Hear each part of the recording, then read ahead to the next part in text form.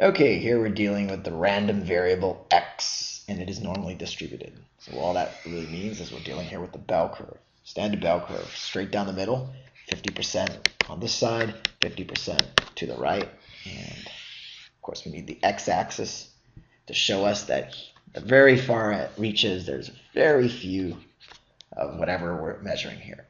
And of course, if we get closer to the y-axis here, you can see everything is bunched up there.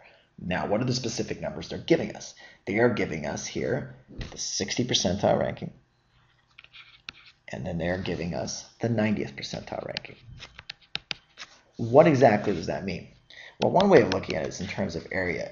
If I start shading in everything here, all the way to the left of 60%, that is 60, or 60 itself, that is 60% of the area of the bell curve. Likewise, if I were to go way out here, draw this a little bit higher, and I want to shade everything to the left of this 90, then that would be 90% of the bell curve. So we know that if we come here in the middle, and they're asking for us here, quantity A, the 75th percent. So would it be in the middle? Well, what we know is 75th, 5 is halfway between 60 and 90. That means that 15% must be added here to 60. But if I went here right in the middle, if I just eyeballed it, is this 15%?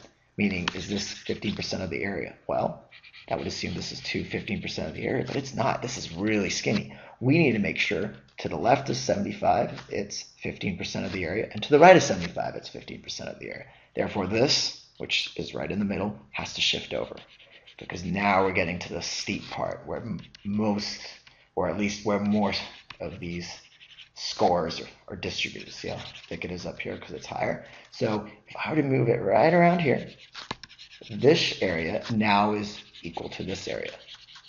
This is 15% here, and here's 15%, which is great because now we know that 75th percentile has to be much closer to 60 than it does to 90. So if the 60th percentile corresponds to 650, and the 90th percentile corresponds to 850, halfway in between would have been 750, obviously. 650, 750, 850, they're all separated by 100, but we know that the 75th percentile has to be pushed left of the 750. It has to be somewhere over here. We don't know exactly what it has to be, but because it's less than 750, therefore B is the answer.